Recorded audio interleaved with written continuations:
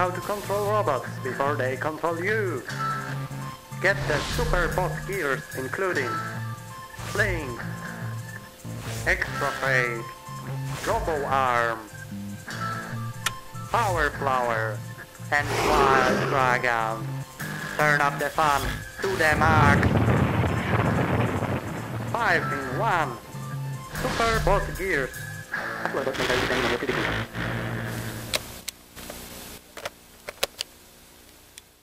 Hello YouTube! The footage you've just seen is an old Arduino set commercial from 1989. I found it on this old VHS Laserdisc cartridge and decided to share it with you.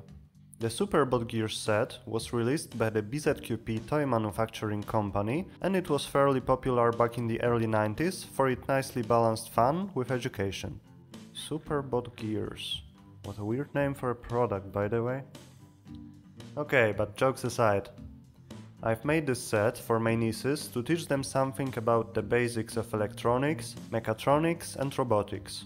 As I mentioned in the commercial, I believe it is important for the children of today to learn how to control robots, or the robotic overlords of the future will be controlling them.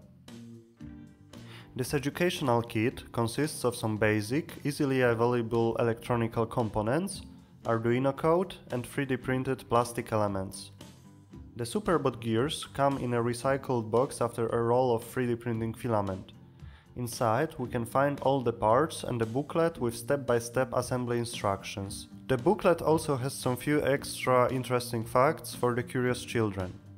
In the beginning of the manual, I've put the necessary safety hints instructing the kids never to play around with the mains voltage.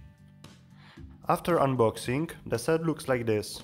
The electronic components include an Arduino Nano compatible board, three servo motors, a joystick and some other elements. The full list of parts is available in the video description. The kit can be assembled into 5 different sets, each corresponding to a different difficulty level. Blink! First one of course is the Blink example, because every great Arduino adventure starts with the Blink. Here we learn the basics about electronic circuitry and we are introduced to the breadboard, resistors and LED lamps. Extra fade.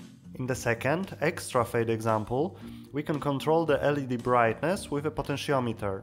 We learn that Arduino board can read and interpret some signals from the outside world and that a potentiometer can be used to dim a lamp.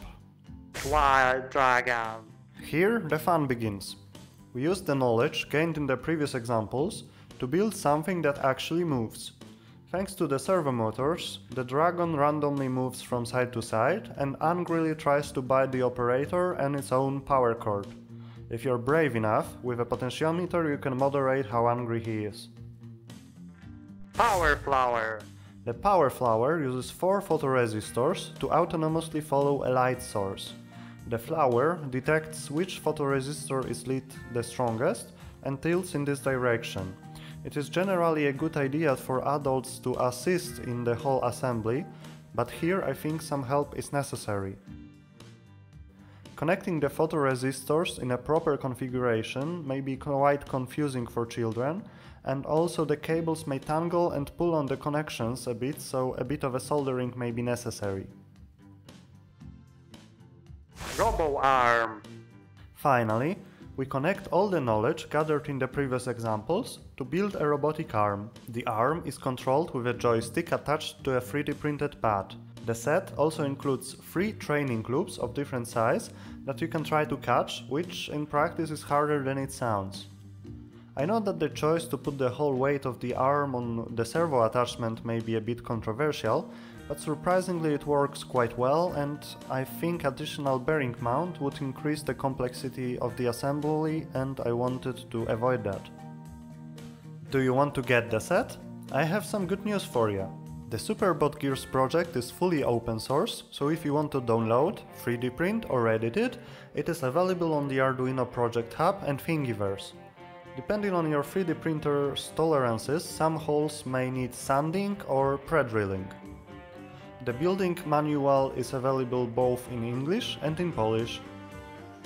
I prepared the whole project in my spare time in around 2 months and if someone is interested in its history, or perhaps wants to know how much time such stuff takes, here's a small timeline of the preparations including the early brainstorming, prototyping, graphic design and video preparations. So that would be it for today. I wanted to make a simple, straightforward and easy to follow Arduino kit for my nieces and I think I've achieved the goal. I hope you enjoyed the project and that it may be useful for you. I have some more projects on the way, so I'll see you soon.